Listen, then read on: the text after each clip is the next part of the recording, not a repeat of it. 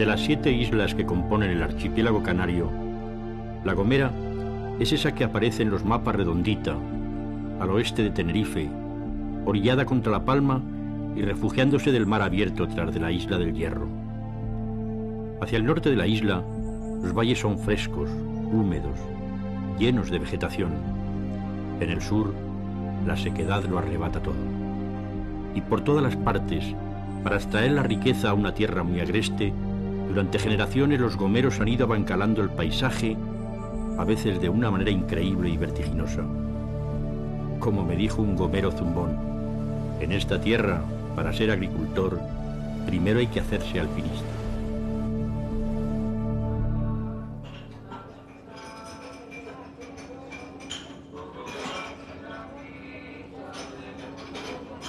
En mis viajes anteriores, en mi caminar metiendo país en la vieja mochila, un lugar me dejó huella muy profunda en eso que llamamos corazón. Fue el hierro, la islita estremecedora y emocionante. Y como uno siempre regresa allí donde la huella permanece, cuando en el ferry de la compañía Fred Olsen viajo desde Tenerife a La Gomera, no puedo quitarme de la memoria a Eloy, mi amigo del Pinar, el que hacía y sabía de todo, que me contó todo de todo y de todo. Lo veo bailando con las chácaras y se me empaña el corazón con su memoria. Su rostro se me hace presente y con él todos los paisajes, olores y sabores serreños que, secretudos, permanecen en un agreste olvido hasta que vuelven a crecer, ahora con el rostro del hoy entre las sombras.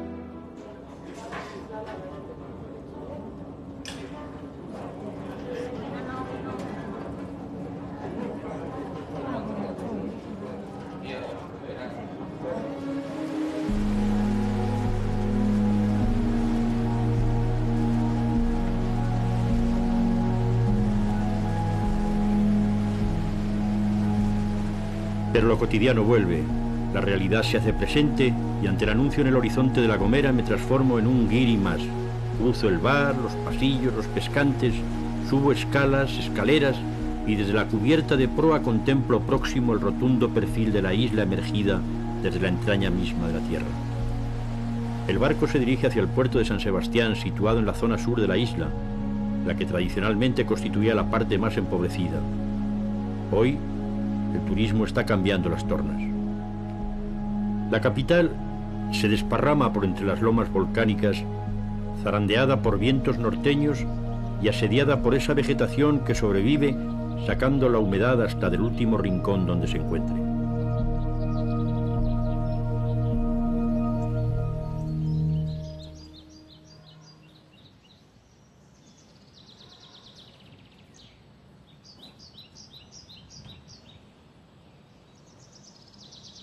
Del origen de la ciudad queda la torre del conde, aislada y altiva, de la familia conquistadora de los Peraza.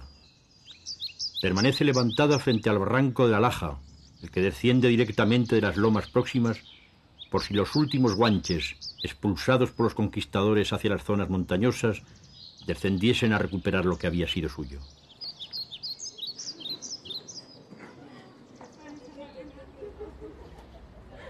San Sebastián de la Gomera es apenas una plaza, ahora endurecida con los nuevos cánones arquitectónicos, y dos calles paralelas entre sí y perpendiculares a aquella. El resto está fuera del plan original de la ciudad. La más antigua es la calle de en medio, en cuya acera derecha se suceden casas y fachadas tradicionales y que en algunas de ellas, dice la tradición, vivió Colón. Es una arquitectura tan colonial que andando por su orilla a veces no sabes si estas bellezas tan sencillas fueron exportadas hacia tierras americanas o fueron importadas desde allí.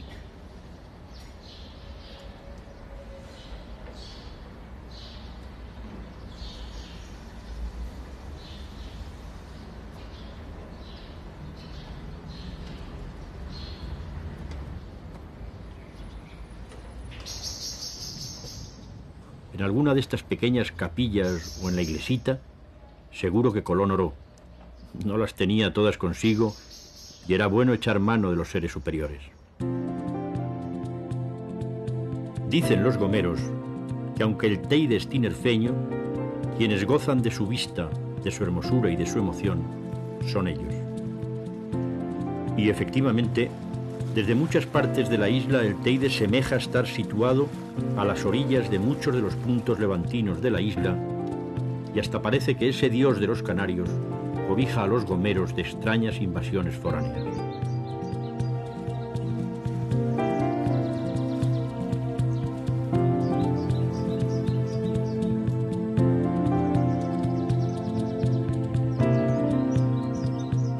Dejar San Sebastián y empezar a subir hacia el interior, tomo el barranco de la Laja, aquel por donde los españoles siempre temían descendiesen los gomeros desde las cumbres del Garajonay.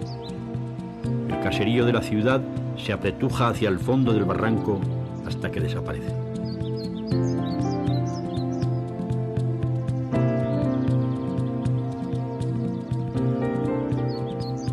Al poco de caminar por el barranco, este se hace agreste y los pequeños oasis que emergen de entre las tierras volcánicas siguen a la vera de todo el camino poniendo una nota de ternura al aire bronco y seco de la mañana. Las perspectivas cada vez se hacen más arriscadas e increíbles y como un salto al vacío el corazón te aupa contra la fatiga del camino.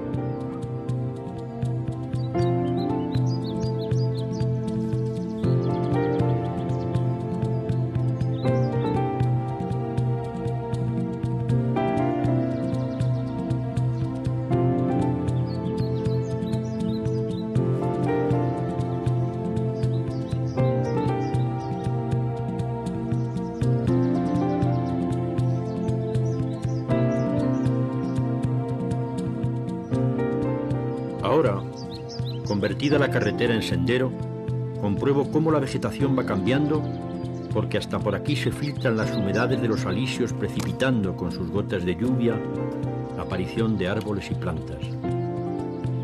En algún momento, y ante las panorámicas que observo, intento racionalizar la vida de los campesinos gomeros, pero la increíble brutalidad del paisaje me sobrecoge,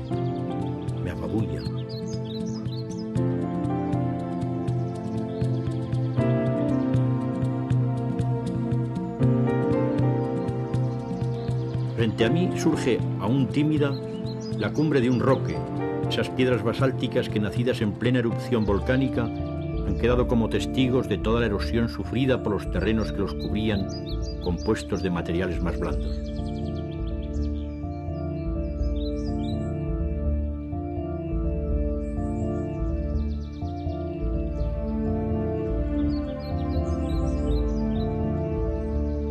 El sendero se hace verdaderamente intrincado y se convierte en una vereda a veces con tramos arrasados por la lluvia y la erosión del viento que dificultan el camino. Con el sofoco de la dura ascensión, desemboco en el mirador del bailadero y desde él contemplo las enormes moles basálticas supervivientes al terrible deterioro. Las contemplo una tras otra, repetida y emocionadamente, casi con el mismo asombro con el que uno admiraría a un gran gigante apoyado en tu mismo hombro. La niebla desciende por entre ellos y una friera descompuesta y vertiginosa me recorre. Desde aquí, desde este lugar, todo resulta fantasmal, casi increíble.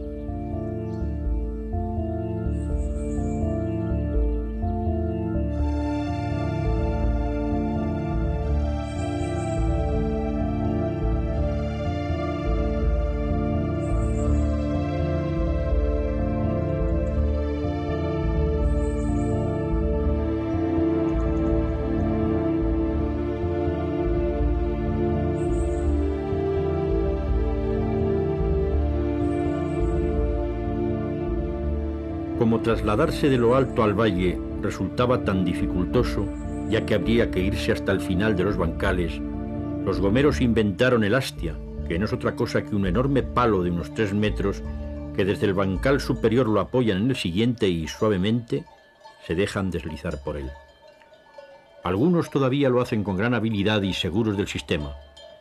Otros, por el contrario, la edad no perdona, buscan artimañas para descender rápido por lugares donde no haría falta el hastia. Pero las propinas de los turistas siempre van bien para el pecunio escaso de las gentes de las tierras más altas y broncas de la isla.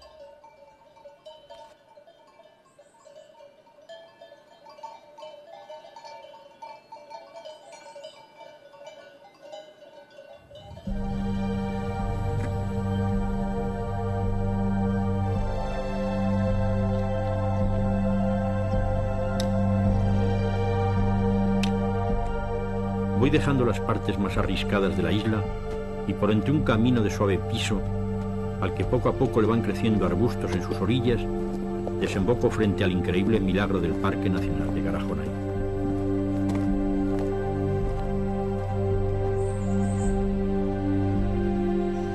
A primera vista, uno pensaría que bajo ese túpido manto verde todo será uniforme y sin embargo, la vida que crece bajo esta inmensa plenitud de verdes arrancados al suelo por el increíble milagro de los vientos alisios con su humedad constante, es de una diversidad increíble.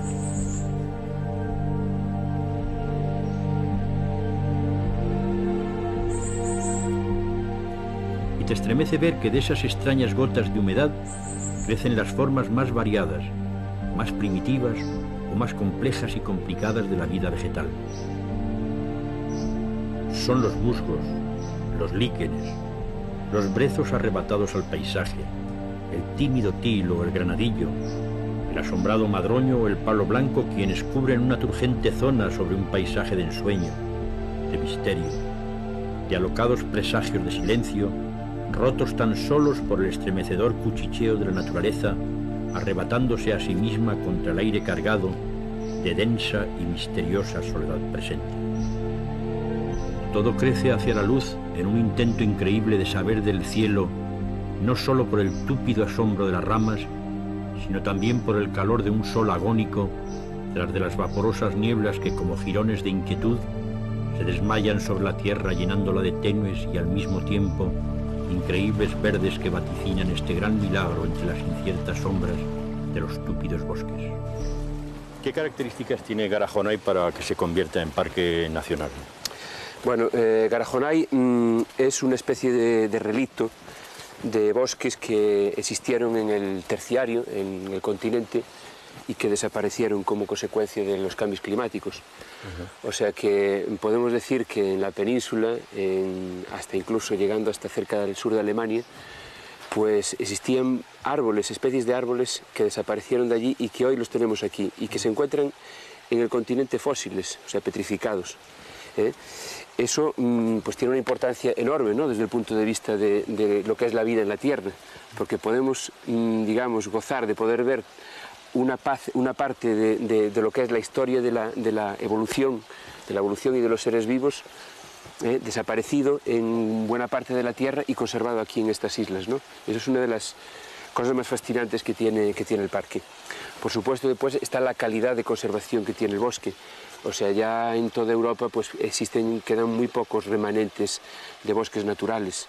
Ya el, hombre pues eh, ha manipulado la vegetación y es muy difícil encontrar bosques donde todavía se vean árboles añosos, eh, centenarios, que pueden llegar a, su estadio de madurez y morir y que el bosque pueda funcionar de forma natural. Ese es uno de los grandes valores que también tiene, tiene Garajonay. Y también es la, cantidad de especies exclusivas, únicas que, tiene, que, tiene, que, que viven aquí y que no se encuentran en ninguna otra parte de la isla. Esto yo creo que son los tres factores más importantes.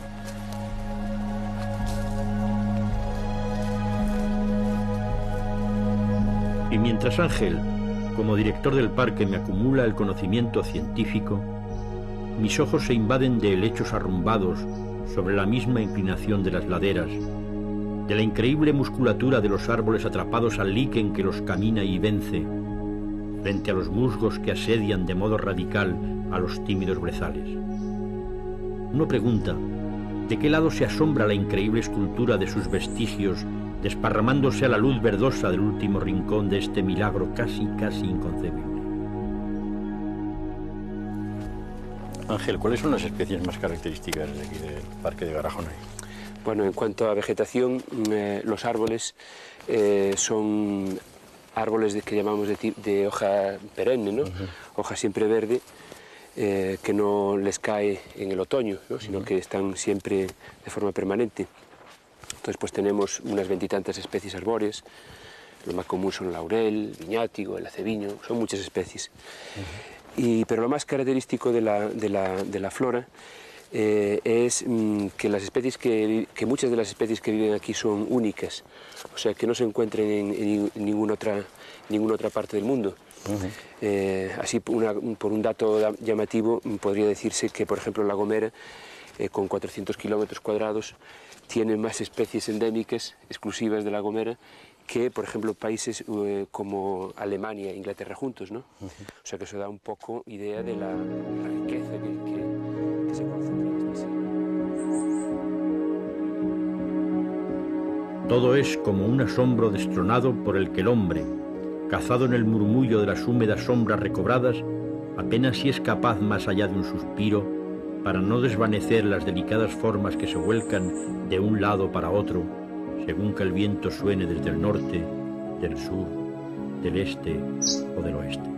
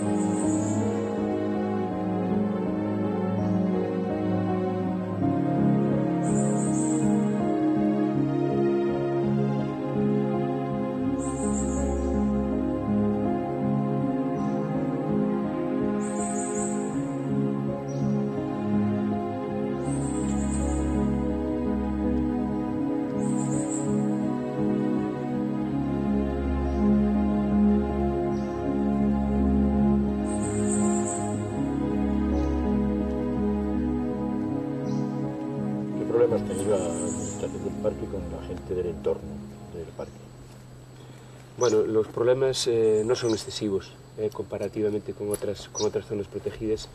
El hecho de que el parque esté instalado sobre propiedad pública eh, pues hace que, bueno, pues que las limitaciones no sean tan directas ¿no? con, la, gente.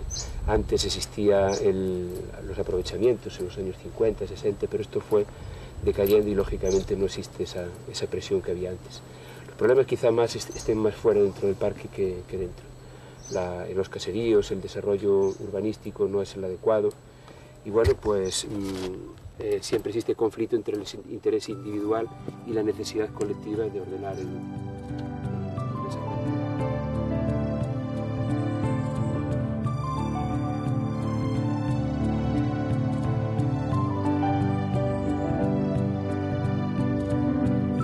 Dejo a mi amigo Ángel al fin un gallego como él encuentra en el mundo de la lorisilva su propio mundo ancestral y como buen secanero arrecio hacia el sol, hacia la iluminaria interminable. Por los arribas de la Gomera, camino por lugares donde los bancales increíbles se amarran al suelo vertical y en un milagro de la supervivencia producen en esos arrebatos de tierra los plátanos, que fueron la gran esperanza del granero humilde en esta isla. Para hacer cualquier cosa hay que trepar. Por eso la cabra es la reina. Pero uno que de cabra tiene poco, cada vez que camina se sofoca, se detiene y se emociona.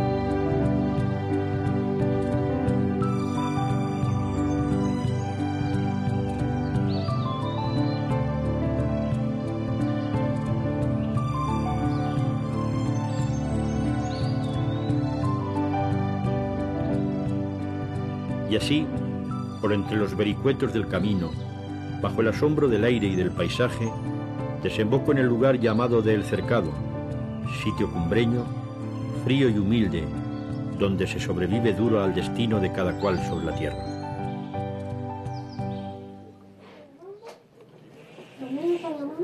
Cuentan los libros que Dios, con barro hizo al hombre. Rufina, la del cercado, que no es por ahora ninguna diosa, realiza tan solo con sus manos el milagro de extraerle al barro la forma que en su fondo está añorando. Son sus manos trabajadas y duras las que aupan el barro. Nada de industria, nada de torno. Solo sus dedos descomponiendo el aire interior para abrir una vasija y luego tan solo el sol y el propio color del barro acaban por definir las formas que Rufina ha ido, desde su tradición familiar, descubriendo en cada paso de su trabajo.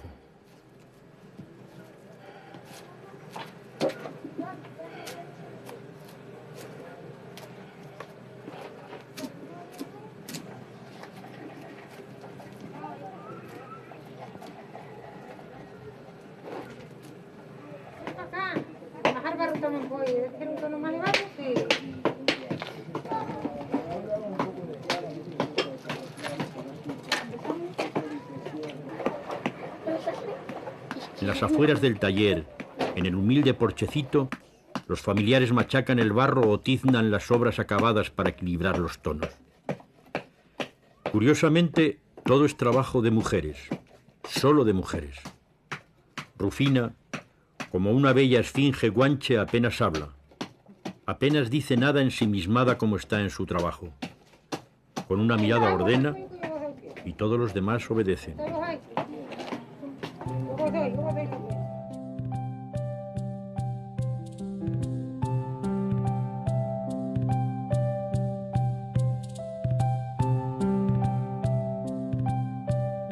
Mientras me muestra la exposición, me cuenta viejos y azarosos viajes con la cacharrería al hombro, camino de los mercados para su venta. Lo difícil del camino, la a veces complicada travesía de los riachuelos y sobre todo, la fatiga. Una enorme y desesperante fatiga. Muchas horas a veces de un amargo silencio destruido.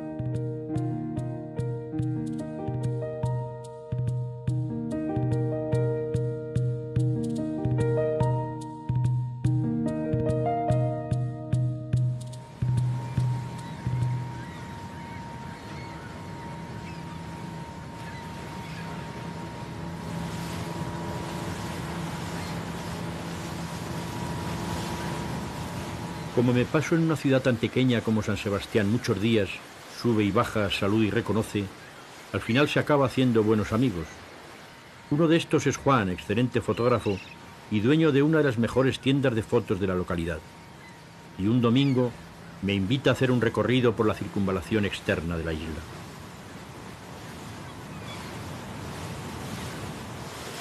Como un señorón, sentado en la parte posterior de la lancha, en la popa, dicen, y un poco inseguro ante tanto mar como me rodea, comienzo la mañana.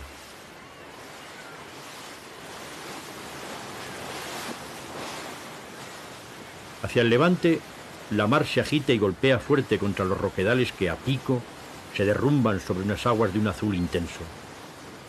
Por algunos rincones comprobamos la dificultad de entrar desde el mar hacia el interior de la tierra.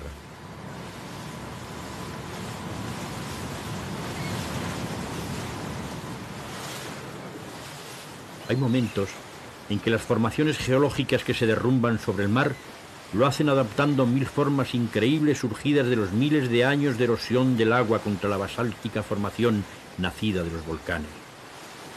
En un punto, formaciones semejantes a los tubos de un geológico e imaginario órgano se desparraman por las laderas hundiéndose en las aguas vertiginosamente.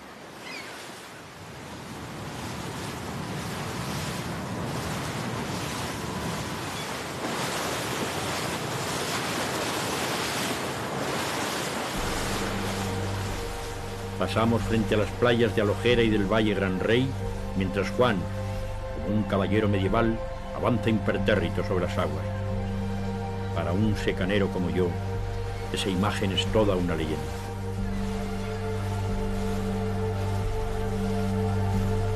Quedan por algunas zonas testimonios de roques o destrozos de naufragios artesanales, como los de la rajita o la cantera.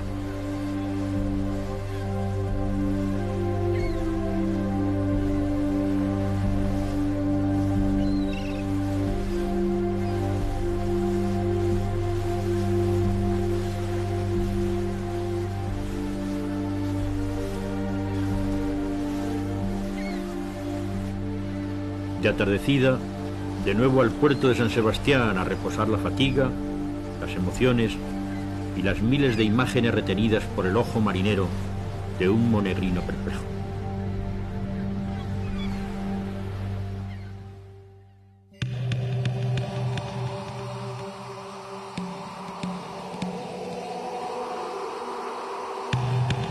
Los alisios, los vientos alisios que golpean siempre las cumbres montañosas y desgarran por ellas fragmentos de nubes, racimos de nieblas, misteriosas formas escondidas detrás de sus luces y sombras y a veces cuando arrecian, hasta te parece que sus vientos reivindican la vieja nostalgia de quienes ocuparon la isla cuando los dioses caminaban al lado de los hombres y sobre sus voces te parece que se escuchan los gritos que reclaman la vieja nominación guanche de los territorios de la isla. Y Palán, Orone, Mulagua y Agana. También sobre ese desconcierto de nieblas, nubes, montes y paisajes, te rememoran la leyenda de los amores de Gara y Jonai. Gara como roca en el idioma guancha y Jonai como flor lejana traída por los vientos del sur desde lejanos y cálidos mares.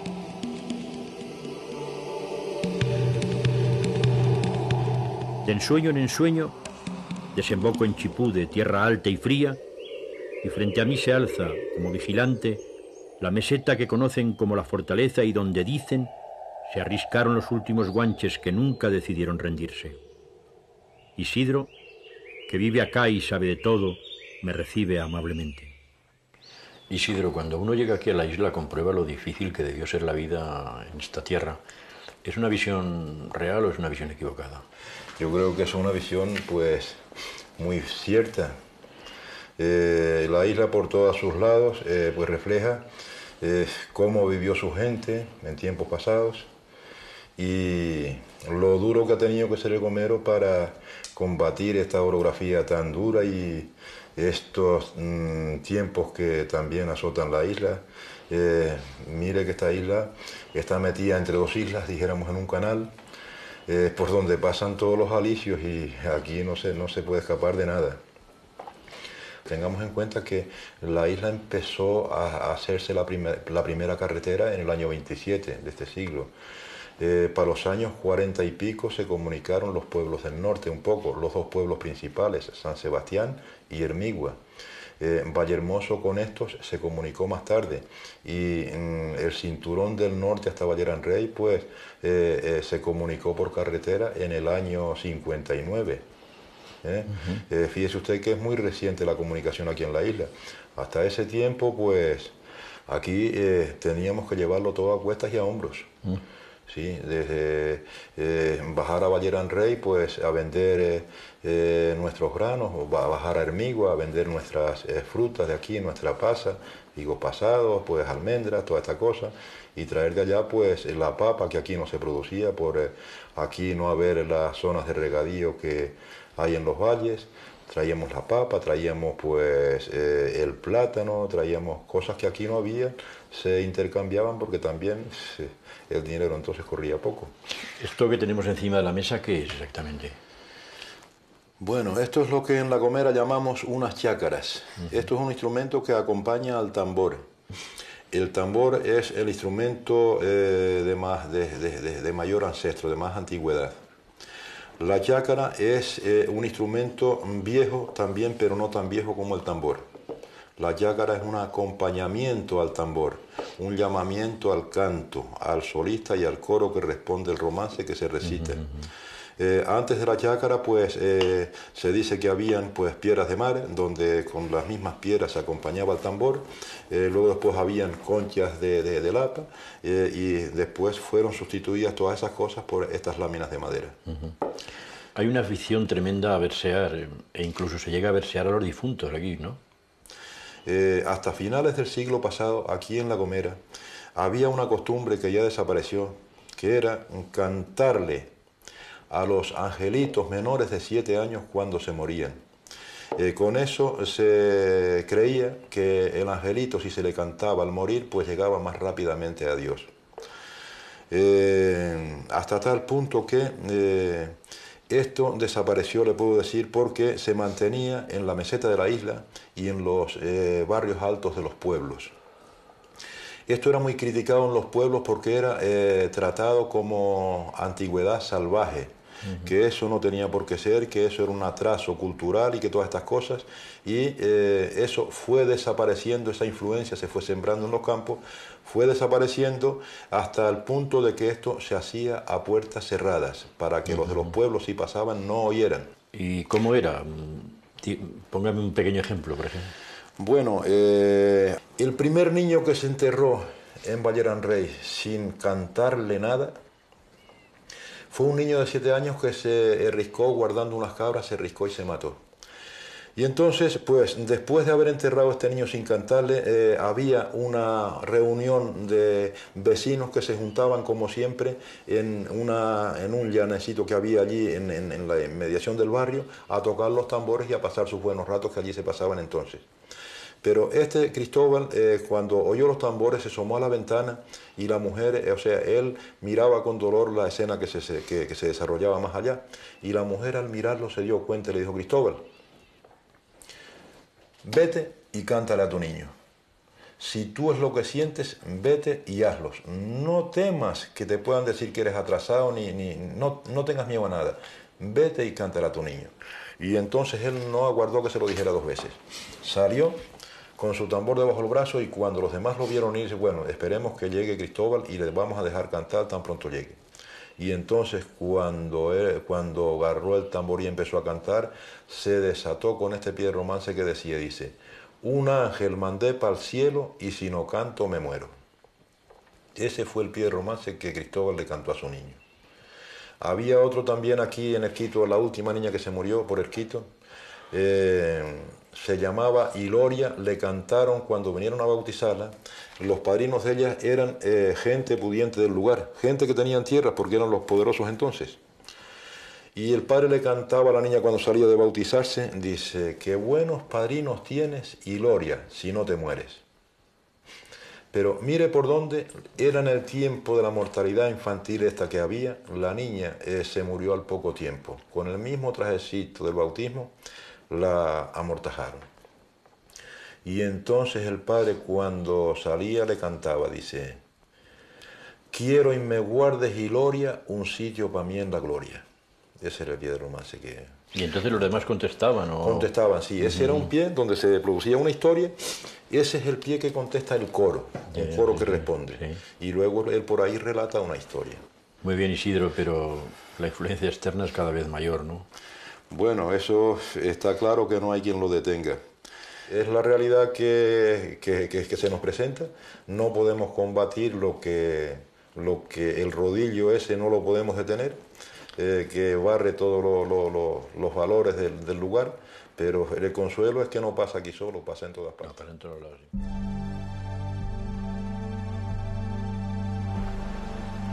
Parecería lógico que una isla fuese rica en pesca, pero curiosamente, solo Playa Santiago tiene un puerto pesquero, cofradía y gentes que a diario salen a la mar para ganarse la vida con lo que por entre ella capturan.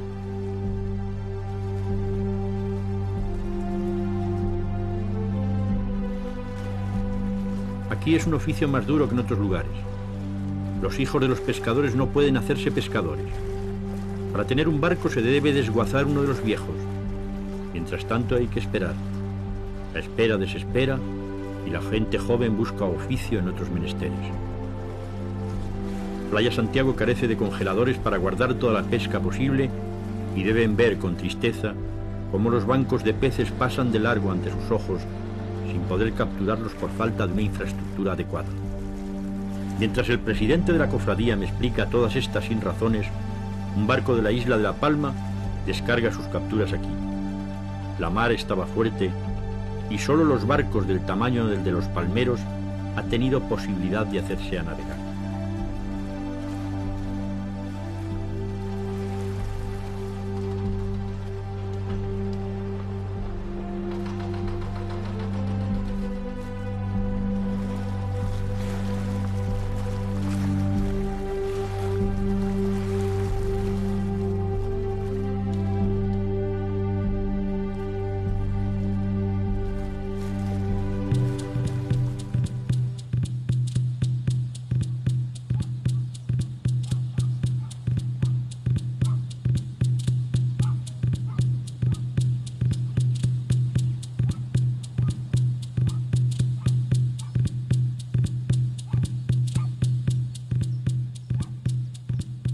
Por el norte de la isla, por lugares como Vallehermoso Anduvo y Aunanda, la riqueza agrícola de la isla.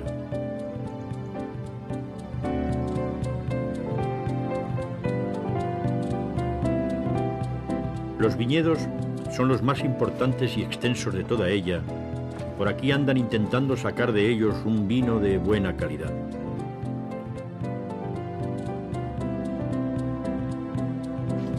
Pero de todos modos, cada vez resulta más duro el trabajo y a pesar de todos los esfuerzos intentando extraer de la raíz de la tierra la mayor riqueza posible, la atracción de las zonas turísticas situadas en el sur hace que cada vez aparezcan más bancales abandonados, yermos. Vallehermoso, como corresponde a su nombre, es y fue un lugar de clima privilegiado, húmedo y cálido. Solo le haría falta para salir del impasse en que se encuentra una carretera que no girase, regirase y se revolviese tantas veces como lo hace la que ahora existe.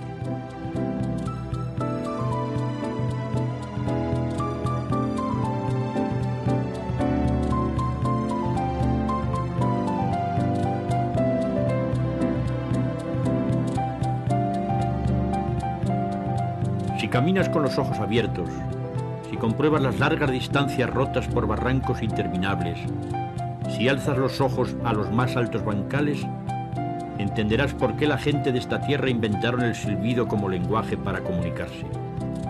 Uno no anda lejos del otro, pero si tuviesen que ir a estar juntos hasta descolgándose en el hastia, tardarían un buen rato en encontrarse. Hoy, los teléfonos móviles y las mejores carreteras están acabando con el silbo gomero a pesar de que gentes como Isidro lo enseñan en las escuelas a los niños.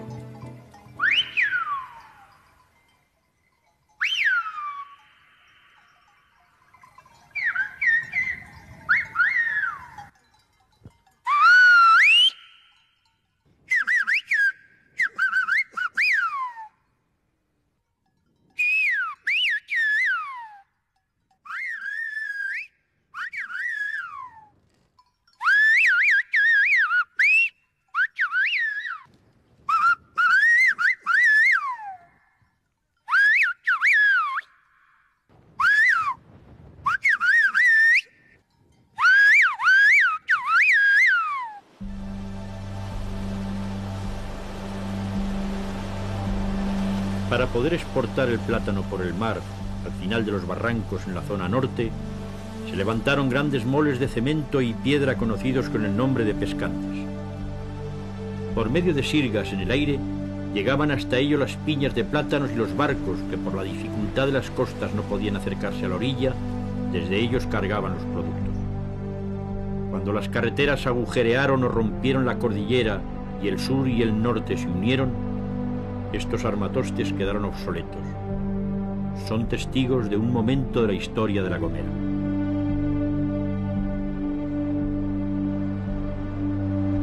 Virgilio, ¿cuántos años estuvo usted de secretario aquí en el ayuntamiento?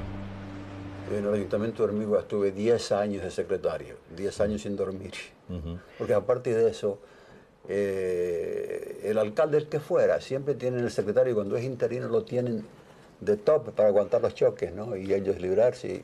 Bueno. ¿Y cuántos años estuvo usted viviendo aquí en el Valle? He estado viviendo siempre, toda la vida. Yo tengo 76, aquí nacido y aquí he vivido siempre, salvo el lapso de tiempo que estuve en el cuartel, que fue poco, porque me enfermé, tuve una pleuritis, una pleuresía seca.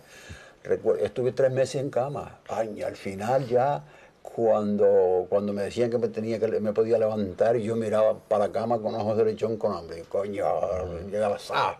¿Ya ha visto usted cambiar mucho? ¿Eh? ¿Ha visto usted cambiar mucho? Hombre, este, claro, este ha cambiado mucho, ha cambiado mucho, porque antes habían eh, unos seis mil y pico habitantes y ahora no llega a dos mil y eso trae consecuencias. Aparte de, eso, aparte de eso, habían cuatro sociedades recreativas. ¿Y qué eran las sociedades recreativas? Eh, sociedades, pues, donde las dos, las dos principales, el Centro Diego Bueno y el Casino Centro Hormigua, eran clasistas. Ahí no se podía entrar si no tenían determinados apellidos y tal.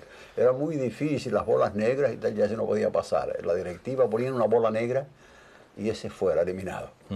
y las otras dos eran populares, la de la playa y la de arriba del Lomo de San Pedro eran sociedades populares, pero las dos, el Centro Diego Bueno y el Casino Centro Hormiga, clasistas a morir.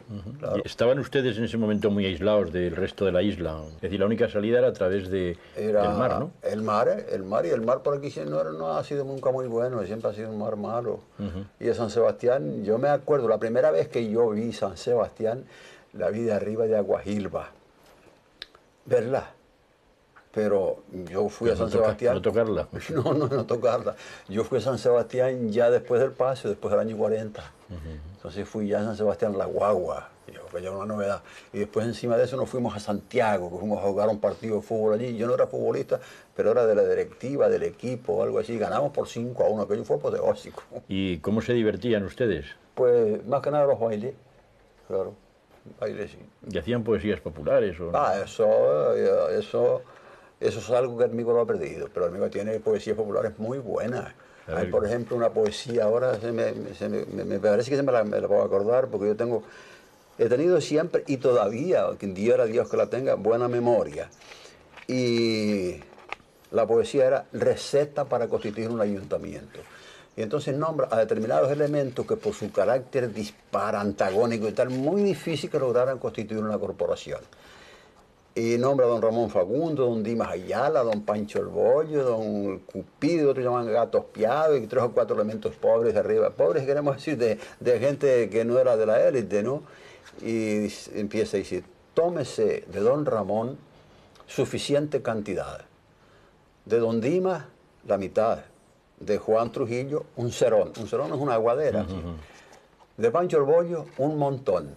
Media roba de Cupido, uno que llamaban Cupido Mézclese a todo cocido con muchísimo cuidado un quintal de gato espiado y queda constituido.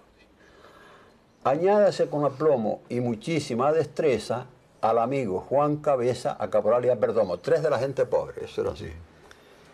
Y para completar el tomo de esta gran corporación, regálesele el bastón al digno Fernando Herrera y el amigo de la Gomera marchará a su perdición. A ver si está bien hecho o no está bien hecho eso pero le leen a don Ramón Fagundo, que era precisamente el abuelo materno de mi mujer, y le, leen la poesía, y el hombre se enloqueció de, furia y tal.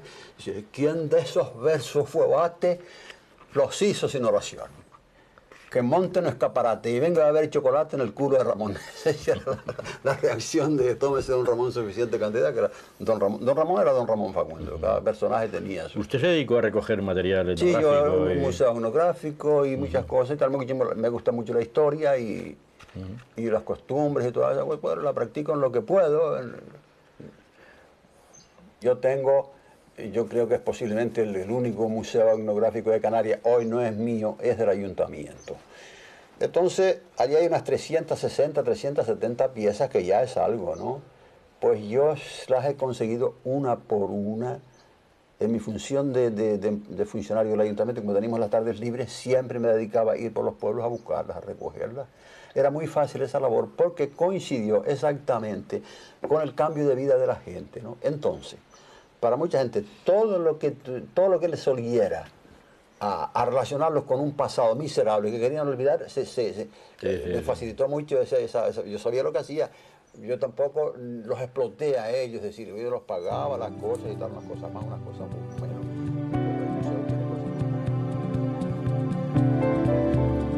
Por la zona de Alojera, la parte occidental de la isla, por donde la carretera desciende vertiginosamente desde los altos hasta el mar, las palmeras se yerguen orgullosas y altivas, marcando su perfil sobre los horizontes quebrados y rotos.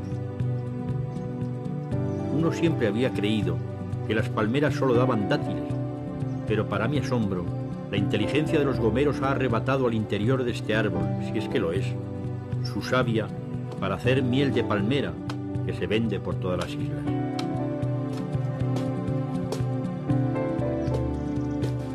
De un modo trabajoso y nada fácil, los hombres de Alojera y en esta ocasión mi amigo José García Jara me muestra pacientemente todos los pasos que hay que dar. Se sube a lo alto de la palmera, la desmocha quitándole las pencas, se raspa la zona descubierta, se deja descansar unos días hasta que el guarapo suba y empiece a manar. Mientras, el tronco se envuelve en alguna parte con una chapa de hojalata para que los ratones no suban a beberse el rico y dulce producto.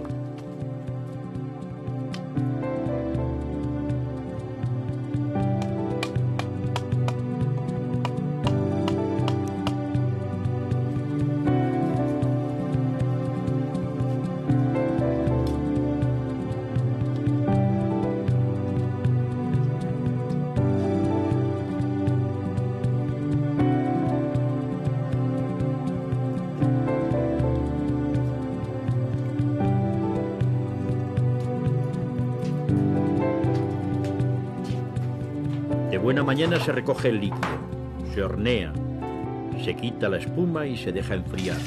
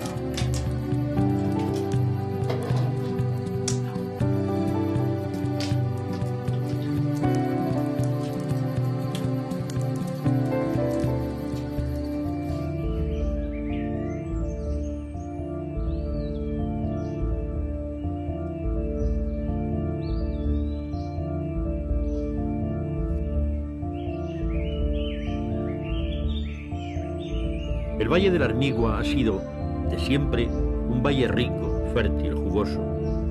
Ahora sigue produciendo la mayor cantidad de plátanos de toda la isla y descender desde el puerto montañoso hasta el mar, por entre los vergeles de bancales repletos de grandes plantaciones de plátanos, es como un paseo por algunos de los rincones de aquel viejo paraíso perdido.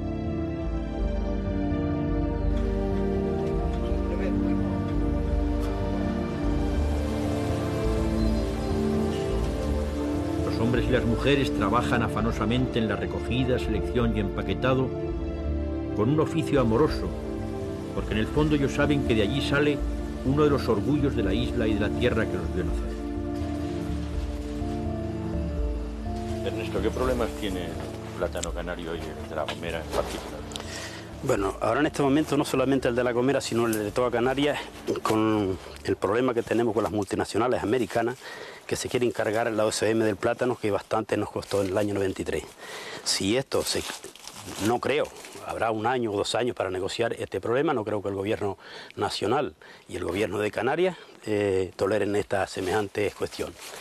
Y ese es el único problema que nos afecta en este momento. ¿El problema de la mano de obra, tenéis también problemas ahí? ¿O sí, la gente joven acepta el, trabajar en el campo? Bastante. Tanto es así que la gente joven no se quiere incorporar indudablemente a la platanera porque eh, hoy en día tienen otros medios de estudio y se van a otros campos donde a trabajar en la construcción o a trabajar en, en mecánicas o a trabajar y tal. Eso es uno de los grandes problemas que a largo plazo ahora mismo este pueblo, indudablemente está el poco cultivo que hay es por por los cuatro viejos que tenemos aquí. Y a pesar de todos estos problemas, ¿tú eres optimista respecto al futuro del plátano o, eres pesimista respecto al futuro? No, no, no, yo siempre, todo lo que he tenido lo he empleado en plátano, todo. Eh, hay gente que les ha pesado, a mí no. Yo hoy, si tuviera dinero, en estos momentos lo emplearía en plátano. ¿Y por qué? ¿Le ves un futuro? Yo le veo un futuro. Sí, sí, uno es que el, el plátano este en la península tiene una aceptación enorme. Si no hubiese así, ya se hubiese encargado la SM. Porque usted imagínese que entre en plátano en Centroamérica, donde la mitad del sueldo es la mitad nuestra. O sea, un sueldo allí podrá ser entre 25 o 30 mil pesetas. Aquí un sueldo pues está entre 90 y 100 mil pesetas. Indudablemente no podemos competir con ellos.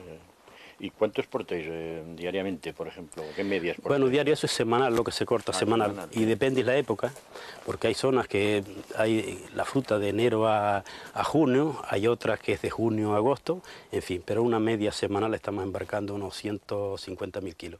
En total unos 6 millones de kilos al año.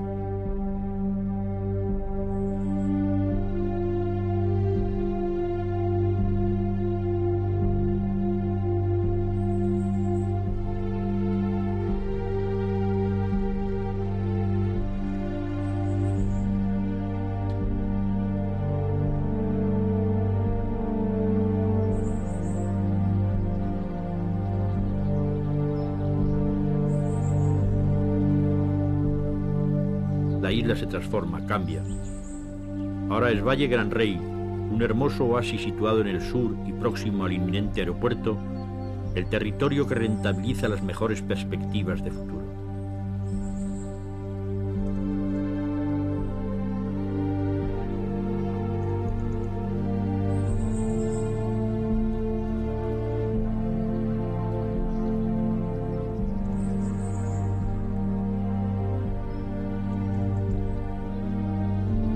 Belleza de los rincones, sus pequeñas playas, sus urbanizaciones, hacen de esta zona el lugar que, combinado con casas rurales esparcidas aquí y allá, resulta más atractivo para las gentes del norte de Europa.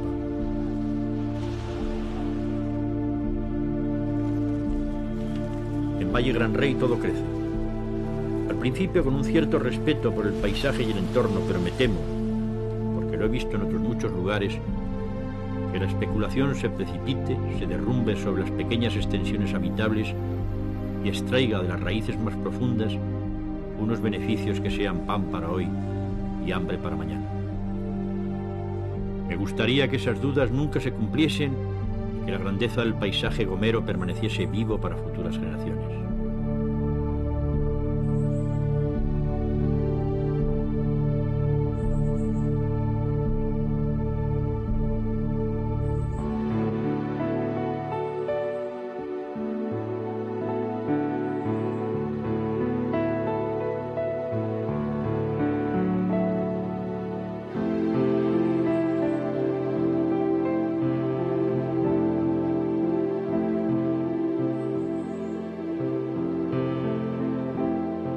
Ya adiós. Mientras el Teide nos observa, subo de nuevo al barco de la compañía Olsen y suavemente me voy despidiendo mentalmente de todas las gentes que se me quedan aquí, en este territorio sin invierno, donde los alisios, encrespados en lo alto del parque de Garajonay, vivifican la gran sequedad de las tierras volcánicas, duras y frágiles al mismo tiempo como sus propios habitantes.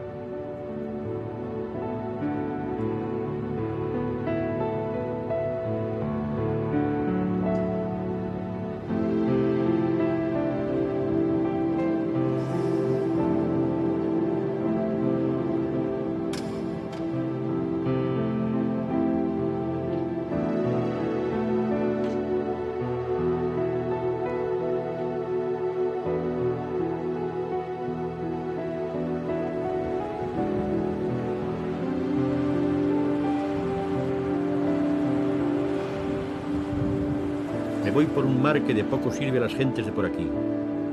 Quizá le sirvió de vía de migración, aunque también de presidio. Pero hoy supongo es más camino de libertad, pues mientras por el norte les trae la humedad y la fertilidad de las tierras, por el sur les descarga esas gentes pálidas y rubias que hasta traen maneras nuevas de concebir la vida. Siempre es bueno mezclarse con otras culturas y no quedarse ciego de tanto mirarse los ombligos solitarios sucede a algunos patriarcas la insolidaridad.